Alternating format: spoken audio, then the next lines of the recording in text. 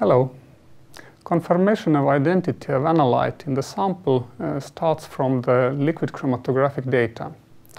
Although liquid chromatographic data alone is not sufficient for uh, unambitious identity confirmation, it is still required. Without adequate chromatographic separation, uh, the identity confirmation is not complete.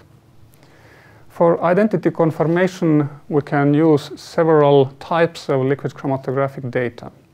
Most uh, of all, the retention time is used, but also peak shape and altered chromatographic conditions. Retention time uh, can um, be uh, limited in, in several ways. For example, uh, SANCO uh, and European Commission validation guidelines uh, require that the retention factor of the chromatographic peak must be at least 1.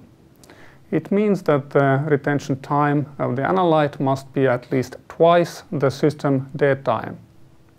Uh, the retention times of the analyte in sample and in standard solution must not differ by more than 0.2 minutes. And uh, the ratio of retention times of analyte and internal standard must uh, correspond to that of standard solution within a tolerance of 2.5%.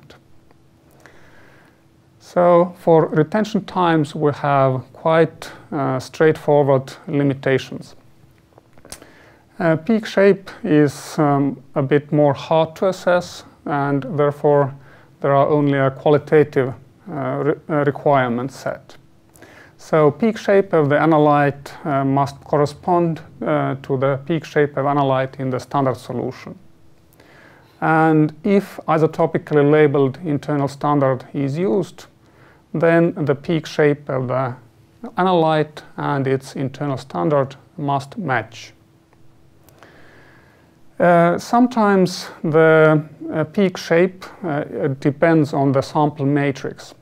And in these cases, matrix-matched standard solutions uh, are helpful or isotopically uh, labeled internal standards are used.